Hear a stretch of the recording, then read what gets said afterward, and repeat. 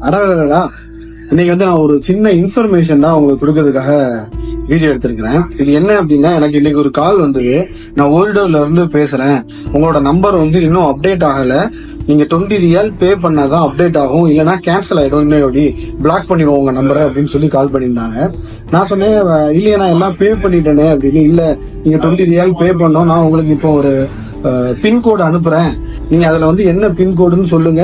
நான் உங்களுக்கு அதுல ஃபைவ் ஃபைவ் ரியால் சம்திங் நான் உங்களுக்கு டிஸ்கவுண்ட் கொடுக்குறேன். நீங்க 15 ரியால் பே பண்ணா போதும்னு சொல்லி இந்த கோடு நம்பர் வந்து அழகா டைப் பண்ணி பக்காவாட்டு ஒரு ஃபோர் நம்பர் ஃபோர் டிஜிட் நம்பர்ல இருந்து நம்மளுக்கு அனுப்பி விட்டாங்க.